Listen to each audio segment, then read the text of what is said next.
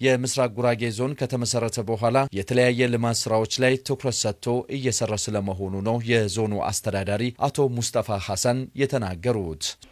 ይህን ዞን ከተመሰረተ በኋላ በርካታ የልማት ስራዎች ለመስራት ሞክረናል። ከሰራናቸው ስራዎች አንዱ የመስኖ ስራ ነው። የመስኖ ልማት ስራ ለዞናችን ለየት ያለ ለሌሎች አስተማሪ የሚሆኑ ጠቃሚ ልምዶች የተወሰዱበት እንደ ክልል ብቻ ሳይሆን እንደ ሀገርም የሚታወቁ ወረዳዎች ናቸው። ይህ ያለንበት ወረዳም ይታወቃል። ሶዶ ወረዳ፣ መስቃን ወረዳ የሚታወቁ ወረዳዎች ናቸው በክልሉ ግብርና ቢሮ። ዞኑን በሁሉም ልማት ዘርፍ ውጤታማ ለማድረግ በክልሉ የተጀመረው ተግባር ለአርሶ አደሩ ምርትና ምርታማነት ከማስገኘት ባሻገር ከምግብ ስርዓት ጋር ራሱን በሚገባ እንዲያቆራኝ የሚረዳው ነው ሲሉ ነው አቶ ሙስጠፋ ሐሰን የገለጹት። ዛሬ ደግሞ የዶሮ መንደር launch የምናደርገው በዚህ ቀበሌ አንዱ ከግብርና ስራችን አንዱ part ነው። ይሄ ደግሞ ምግብ የምግብ ስርዓት ማሻሻያ ወይም ይሄ የተመጣጠነ ምግብ የምንለው ህፃናት እንቁላል ማግኘት አለባቸው፣ ወተት ማግኘት አለባቸው፣ ጥራጥሬ ከፍራፍሬ ሁሉንም እንገዛው አይደለም፣ እዚሁ ማርባት እዚሁ ማምረት ምንችለው ነው። የሀገራችን ዋነኛ ጠላት የሆነውን ድህነትን ለማሸነፍ የሚቻለውን ሁሉ በመተግበር ህዝቡን ተጠቃሚ ማድረግ አስፈላጊ ስለመሆኑ ነው የማዕከላዊ ኢትዮጵያ ክልል የግብርና ቢሮ ኃላፊ አቶ ኡስማን ስሩር የገለጹት።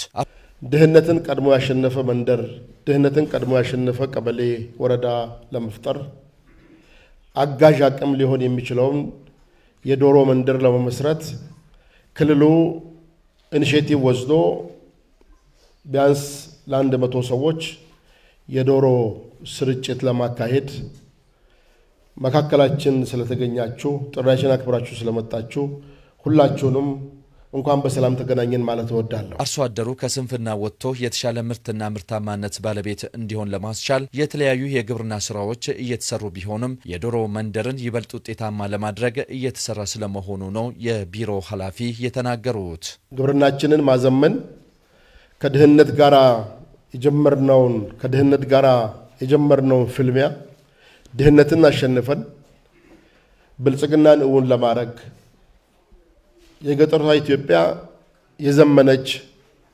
ወጣቶች ተረጋግተው የሚኖሩባት የሚሰደዱባት ሳይሆን ተረጋግተው የሚኖሩባት ሰርተው የሚበለጽጉባት መርጠው የሚኖሩባት አካባቢ ለማድረግ ግብርናን ማዘመን የግድ ይላል። ኢትዮጵያ በዓለም መድረክ የምትታወቅ የራሷ ስም ያላት ትልቅ ሀገር ብትሆንም እንደዛውም ደግሞ አንሳ የምትገኝ ሌላ ስም ያላት ሀገር ናት። ይህ ደግሞ ኢትዮጵያ በውስጧ አቅፋ የያዘችውን እምቅ ሀብት በአግባቡ ያለመጠቀም ችግር መሆኑን ነው አቶ ኡስማን በቁጭት የተናገሩት። ለዓለም ጥቁር ሕዝቦች ተምሳሌት የሆኑ ጥንት አያቶቻችንና አባቶቻችን ያስከበሯትን ትልቅ ሀገር ድህነት ግን አንገታችን ዝቅ እንድናርጎናል።